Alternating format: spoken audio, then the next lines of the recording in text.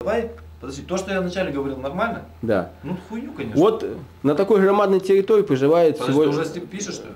Да. Да ёпта, выключи,